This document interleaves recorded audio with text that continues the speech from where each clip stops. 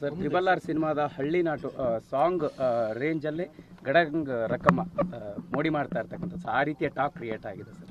Sir, ಪ್ರತಿಯೊಂದು ಸಂಸ್ಥೆ ಆಗಲಿ, ಪ್ರತಿಯೊಂದು ಪ್ರಾಡಕ್ಟ್ ಆಗಲಿ, ಅವ್ರದ್ದೇ ಆದಂಥ ಒಂದು ಕೆಪಾಸಿಟಿಗಳಿರ್ತವೆ ಸಿನಿಮಾ ಮಾಡೋದು ನಾವು ಯಾರ್ದೂ ರೆಕಾರ್ಡ್ ಬ್ರೇಕ್ ಮಾಡಬೇಕು ಅಂತನಲ್ಲ ಅಥವಾ ರೆಕಾರ್ಡ್ ಸೆಟ್ ಮಾಡಬೇಕು ಅಂತನಲ್ಲ ಸರ್. ಕುಕ್ಕರಲ್ಲಿ ಅನ್ನ ಇಟ್ಟಾಗ ಅನ್ನ ಬೇಯೋದು ಅಷ್ಟೇ ನಾವು ಇಷ್ಟಪಡ್ತೀವಿ. ಬಿರಿಯಾನಿ ಆಗಲಿ ಅಂತ ಯಾರು ಇಷ್ಟಪಡಲ್ಲ. ಅದಾಗೋಯ್ತು ಅಂದರೆ ಭಗವಂತ ಇಚ್ಛೆ.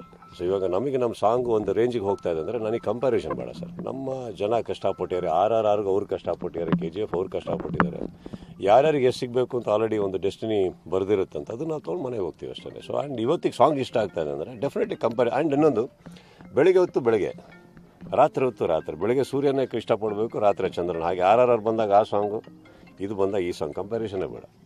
ಮ್ಯಾಚ್ ಆಡ್ತಾ ಇದ್ದೀರಾ? ಒಂದು ಈ ಮ್ಯಾಚ್ ಬಗ್ಗೆ ಏನು ಹೇಳ್ತೀರಾ? ಎರಡನೇದು ಜೋಸ್ ಬಟ್ಲರ್ ಅವರು ನಿಮ್ಗೊಂದು ಬ್ಯಾಟ್ ಗಿಫ್ಟ್ ಕಳಿಸಿದ್ರು. ಸೊ ಅದೊಂದು ಹ್ಯಾಪಿನೆಸ್ ಅದು ಸರ್ ಅಫ್ಕೋರ್ಸ್ ಸರ್ ಇವಾಗ ಯಾವುದೋ ಒಂದು ಮಹಾನ್ ದೊಡ್ಡ ವ್ಯಕ್ತಿ ದೊಡ್ಡ ಒಂದು ಕ್ರಿಕೆಟರು ಬೇರೆ ದೇಶದವರು ಅವರು ನಮಗೋಸ್ಕರ ಒಂದು ಪ್ರೀತಿಯಿಂದ ನಮ್ಮನ್ನು ಗುರ್ತು ಹಿಡಿದು ಒಂದು ಪ್ರೀತಿಯಿಂದ ಒಂದು ಬ್ಯಾಟ್ ಅವರು ಹನ್ ಒನ್ ಹಂಡ್ರೆಡ್ ಹೊಡೆದಂಥ ಒನ್ ಆಫ್ ದಿ ಬ್ಯಾಟ್ಸ್ ಅದು. ಅದನ್ನು ಕಳಿಸ್ಕೊಟ್ಟಿದ್ದಾರೆ. ಅಂದರೆ ಅದನ್ನು ತುಂಬ ಹೃದಯದಿಂದ open heartedly and open hands have accepted it and have treasured it and of course and ಈಗ ಅವ್ರ ಮೇಲೆ ಹಾಡೋದೇನಂದರೆ ಪೊಲೀಸ್ ಅವ್ರ ಮೇಲೆ ನಮ್ಮ ಸ್ನೇಹಿತರೆಲ್ಲರೂ ಪದೇ ಪದೇ ಅವಾಗ ಅವಾಗ ಅವರಿಗೂ ಈ ಅವರ ಜೀ, ನಿತ್ಯ ಜೀವನದಿಂದ ಅವ್ರಿಗೊಂದು ರಿಲೀಫ್ ಬೇಕಾಗುತ್ತೆ ಅವ್ರಿಗೊಂದು ಎಂಟರ್ಟೈನ್ಮೆಂಟ್ ಬೇಕಾಗುತ್ತೆ, ನಮಗೂ ಒಂದೇನೋ ಬೇಕಾಗುತ್ತೆ.